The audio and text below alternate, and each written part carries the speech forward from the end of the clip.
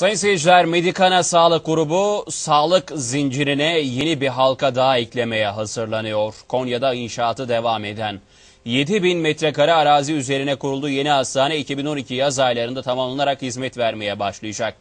Medikana Sağlık Grubu Kurumsal İletişim Koordinatörü Kurtuluş Okutan ve medya ilişkiler uzmanı Meltem Depeçik bu kapsamda televizyonumuza bir ziyaret gerçekleştirdi.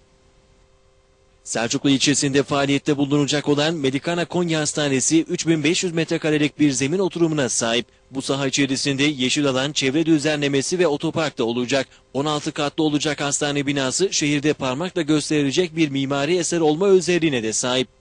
Yaz aylarında faaliyete geçmesi planlanan hastanenin kurumsal iletişim koordinatörü Kurtuluş Okutan ve medya ilişkiler uzmanı Meltem Depecik, televizyonumuz haber müdürü Ali Sait Öge'yi ve reklam koordinatörü Hakan Markutçu'yu ziyaret etti.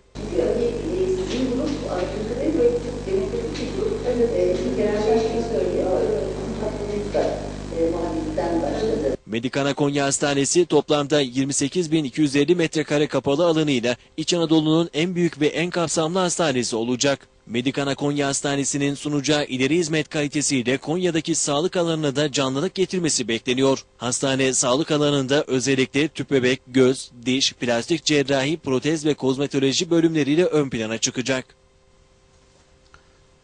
Selçuklu Sultanı 2. Kılıç Arslan döneminde yaptırılan Kılıç Arslan